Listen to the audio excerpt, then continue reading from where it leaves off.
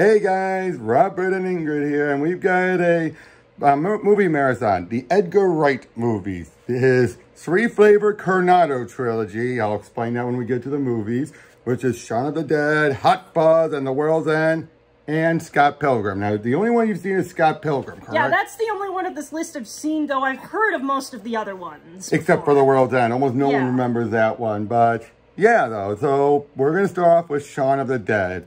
One of the, it helped revitalize zombies again. Why is it with parodies revitalizing the main? Oh, yeah, So- I've heard this one was really, really funny. It was, and it came out right around the same time, uh, right before um, George Romero had returned with um, his um, that Fort Land of the Dead. Hmm. So kind of ironic there. But yeah, this it's going to be a very Britishy humor, but it's that Britishy humor though. It's not the too British humor, if you know what I mean. Well, I've been watching a lot of, watching and playing through a lot of Britishy stuff lately, so I think I'm right in the mindset for this one. All right, well, we'll see you guys on the other end. Hey guys, we got done and it's good. It was really good. Yeah, definitely. It was okay. First of all, just realized I had powdered sugar on my lips. This was, as they put it, a rom zom com, and it fits. It really fits. It worked really well. It worked very well. Uh, the comedy was very good. It's not too British. Would you agree with that? Yeah, but it had enough to make it distinctly flavored. Okay, let's start off with um. Oh, geez, I just blanked on the main character's name. I'm always I I know it's Simon. Um, but you know what I mean. But you know what I mean. We just we have the main character who we're following through um at the very beginning, and oh, Shaun. Duh, Shaun, it's in the Shaun, title. It's, in the, title. Sorry, people. Sorry, Shaun. Duh. He is okay. Let's actually start with the very beginning, the very first day before the zombie apocalypse starts. It's showing that everyone's already going through life as a zombie as it is. They're just like, mm-hmm. Ugh. Yep. Now, you look through it, you you believe why no one would buy the zombie apocalypse that's happened when it happens. Yeah, it's like that would literally be the furthest thing from your mind. It's just another slow day. And like if you see trash everywhere, you're like, oh, someone had a bad drink. Mm-hmm. You'd think that, right? Mm-hmm. You wouldn't think, oh no, the zombie apocalypse. No, you'd be thinking, like I said, like, oh, somebody got wasted and trashed the place. Mm-hmm. Um, but yeah, basically, Shaun is coasting through life. He has his flatmate and longtime best friend since elementary, primary school, named Ed. And according to TV shows, people think he's autistic. What do you think? Or at least ADD I feel like ADD is a better descriptor for than autism. Yeah, I do. Yeah, because he didn't come off like that autistic. He came by ADD definitely, A bit spacey at times and distracted, but yeah. but he has his smart moments. It was. yeah. I mean, okay, he. No one in this in this is an idiot. Let's make mm-hmm. that clear. Shaun's not an idiot. Ed is definitely not an idiot. But Ed is selfish. Hmm. Most of the characters in this are selfish in one way or another, except for the mum and mm-hmm. Even Liz. Liz was definitely not selfish. In fact, and one thing I love about this is that there's a lot of subverting expectation done properly here. Mhm. You set up cliches, and then you reveal the cliches aren't what you think. That's how you do it. Yeah. You don't set, and unlike others where you like you don't set up plot, po- you know, like characters. You start to like and then reveal, oh, they were an asshole the whole time. Mm-hmm. Okay, no, I, I take that back because we do get that here. Mm-hmm. Okay, but anyway, But it's Shaun- not the character you'd expect to be the asshole. Exactly. Shaun, he and his girlfriend, it's like she's, what I like about Liz is she's not nag. Mm-hmm. Would you agree with that? She's definitely not a nag. Yeah. She wants him to change, not, not to fit some box, but because she knows he's in a rut. He can be better. He can be and better. that's something that's very positive. And yeah, and it's definitely not, and it's like, and it's shown because he's miserable at his job. Mm-hmm. He's up with his mom, mom and everything, and his stepdad are not the greatest. Mm-hmm. You know, things like that. And again, eh, like he just, he's coasting through life. Is that the best way of putting it? Yeah. He's just coasting Running through, on autopilot. being pretty much a Walking Dead. Mm-hmm. And, um, but, and then when he finally screws up big time, he royally, but not in the way you think again. Again, another super expectation. He leaves, they were planning to go to this great dinner. So they, uh, she, they leave and she gives them a call saying, uh, make it seven instead, and eight instead of seven. You think, oh no. But then later she did call, and it turned out he heard it and he caught it. So I'm like, oh, Yeah. that was a good subverting, wouldn't you think? Because you were expecting, like, oh no, Yeah, I you were groaning. oh yeah, I could feel the secondhand embarrassment. But then it turns out, oh no, he got it right, but he was, he, but he got too distracted, and well, turns out he missed his chance. Oops. And she breaks up with him, rightfully so. I mean, I don't blame her, do you? Yeah. It's like sometimes you just have to know when to fold them. Exactly. But then, very next, and throughout that whole day, the zombie apocalypse happened. Now, I was like, guys, what do you think about their room, their flatmate Pete? He's an ass, but again, it's kind of like I say he's like Liz, but he's more likely to be aggressive about it. Mm-hmm. Would you agree with that? Like, like I think there were times where he's actually making a good point. Like when he's like, "We broke up with Liz," rather than give him more shit, he was willing to say, "All right, just keep it down." It was only until Ed called him a prick that he finally snapped. Yeah, he just seems like kind of a guy that would mostly keep to himself and would rather keep to himself, but he's mm-hmm. stuck with these two annoying flatmates. Mm-hmm. You know what I mean? And he's just like, why does he just go? And he's like, remember that good time? Yeah, when was that? Five years ago. It's like, again, so he's acknowledging he knows the good times, but it's like, stay in the moment. Get mm-hmm. him out of here. Mm-hmm. But um, then the zombie apocalypse. Oh, but you know so we'll have a Bloody Mary. We're gonna do all this stuff. Pretty much everything they said they were going to that um Ed said they were gonna do the next day. They ended up doing.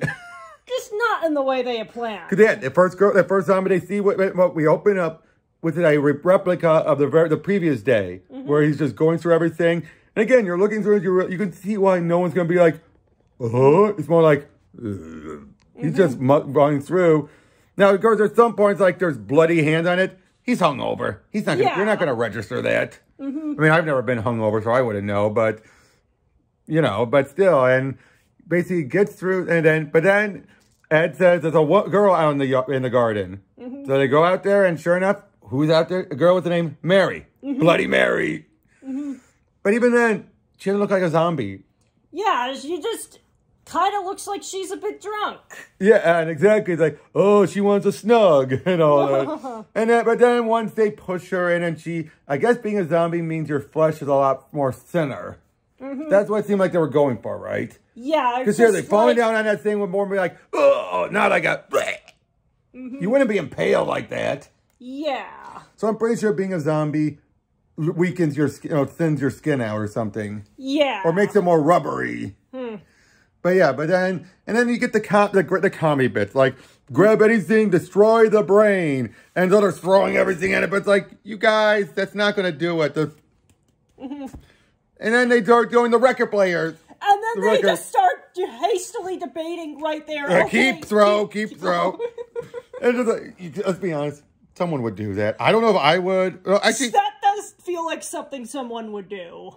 would you, or would you just throw everything? Be honest. Um, I would probably pick and choose. Let's be real. Exactly. Like if I saw my comic books, I'd be doing. I'd be like, you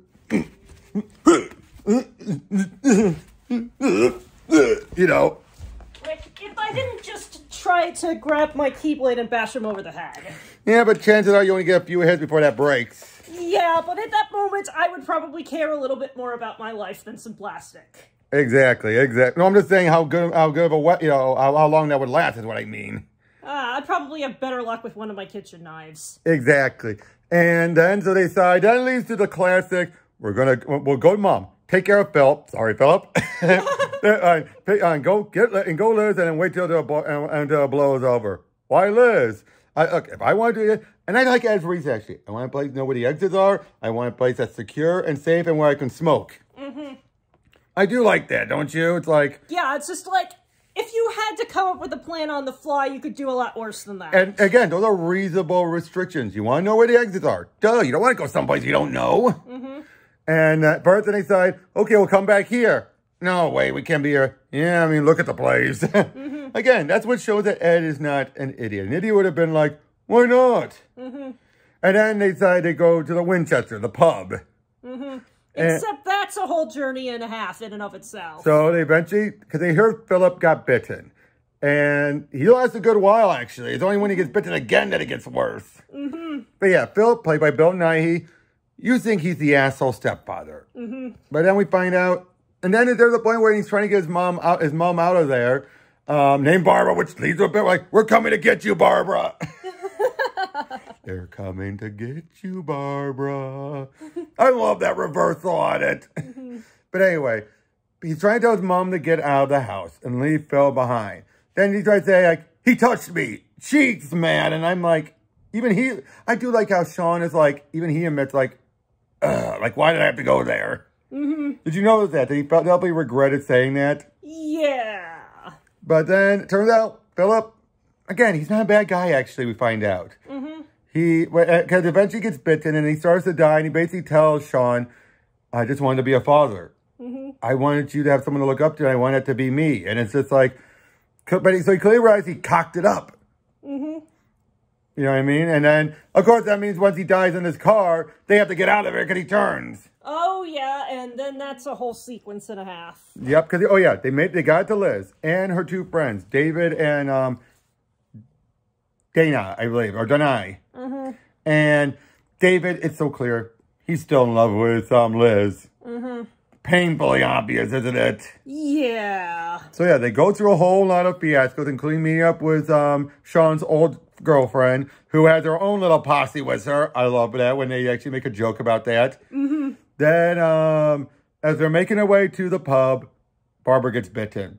Yeah. But we don't realize it, but it's just like, Barbara, why did you just stand there and get, you know, clearly she had to have opened the door. Mm-hmm. And then you're just like, why? Mm-hmm. But, um, yeah, they get through, they make it to the pub, and showing us how clashing it is, um, Shaun's right there. There's a back door, but then David just smashes the window open. So mm-hmm. Shaun decides to run up and, you know, to, um, distract him. Oh, and Ed almost fucks it up.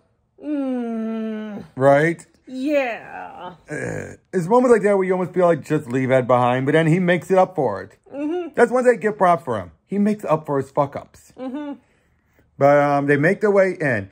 David and Shaun distracts the zombie, so he runs off Of course, David feels like just leave him. He ain't coming back. He ain't coming back. Mm-hmm. He shows he comes back, and they're, they're right down to just um, nuzzle down and everything until it turns out the zombies followed him. Oops. Whoops. They're trying to do everything, and it leads to a big fiasco as Bar uh, the zombies are making their way in. Now, it turns out they have a shotgun. You know, the shotgun's there, which they keep saying, it ain't real, it ain't real. okay, did you expect it to be real? 50-50. It was real. They used the gun, but then Barbara dies, which leads to the bit then where David, let's be honest, there's a good way of doing it, and he did it the worst way possible, didn't he? Mm-hmm. Just up like, Shaun got away, we got to put her down. It's like, dude, when does that ever work? Yeah. When does something like that, especially from a mama's boy like Shaun, does that ever work? Mm-hmm.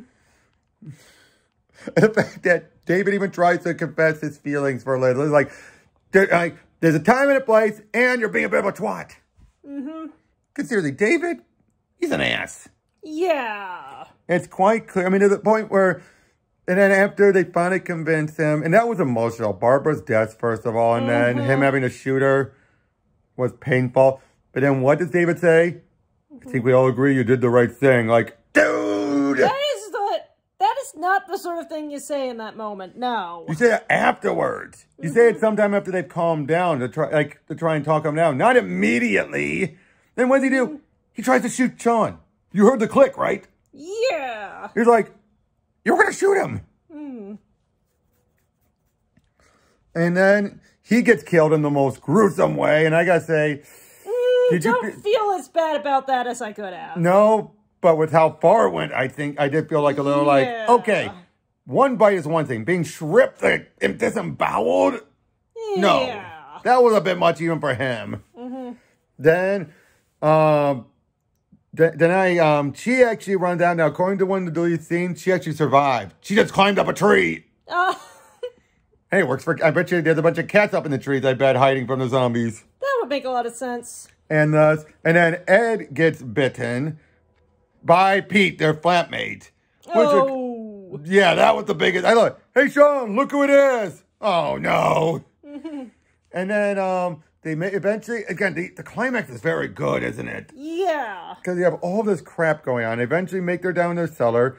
And Liz and Shaun are considering suicide. I mean, I wouldn't blame them, would you? I wouldn't. Con- I wouldn't blame them either. It just kind of seems like, well, the world's going to shit now. Might as well end it before the zombies do. But then they realize, because they, they, they think they're stuck in the cell, then they realize they can get out of there and just make some last stand. Mm-hmm. But then you have the moment. Now, there's a gag that was set up earlier where basically Ed goes, I'm sorry. So, I, you have nothing to be sorry about? No, I'm really sorry. Dude, oh! Like, like, that's not funny. I'll stop doing it when you stop laughing.